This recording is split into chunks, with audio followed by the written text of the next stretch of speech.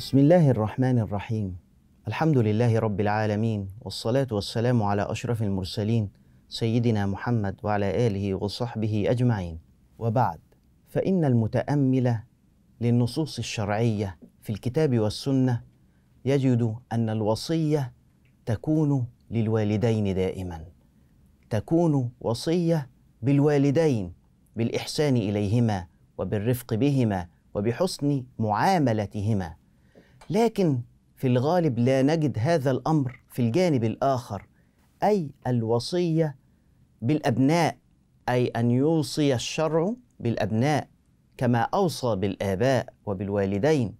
وهذا من اعتبار الشرع لداعية الطبع فإن طبع الوالدين الذي فطر الله تبارك وتعالى عليه الأب والأم أنهم في رفق وشفقة ورحمة وحب للخير ورعاية لمصالح الصغير. وهذا بخلاف أن يقوم الشرع بالتوصية العكسية أي وصية من الآباء للأبناء. ولكن في الحقيقة أن هناك توصية بطريقة غير مباشرة. ودائما ما يكثر الكلام عن الوصية بالوالدين لكننا اليوم سنتكلم عن الوصية بالأبناء. والوصية بالأبناء لها صور.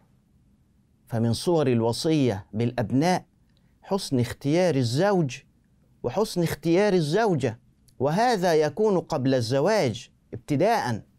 فأرشدنا الشرع الشريف فقال إن الرجل إذا أراد أن يتزوج فقال صلى الله عليه وسلم إذا جاءكم من ترضون دينه وخلقه فزوجوه.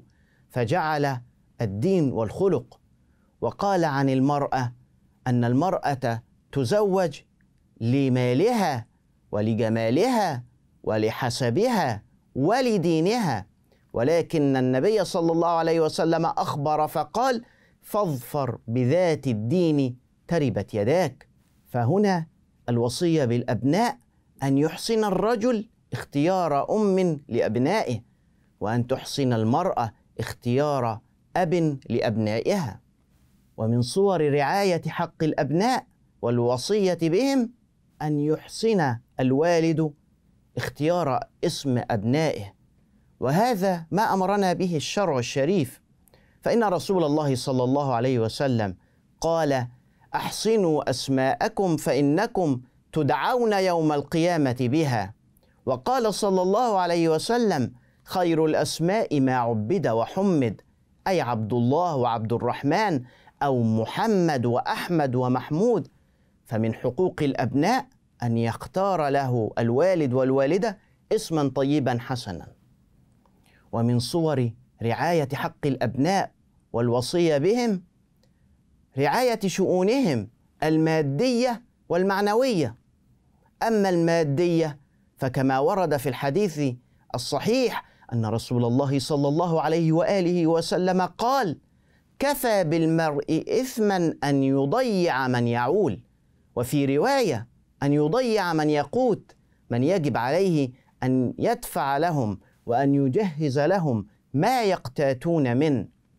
هذا في جانب الرعاية المادية والرعاية المعنوية أهم.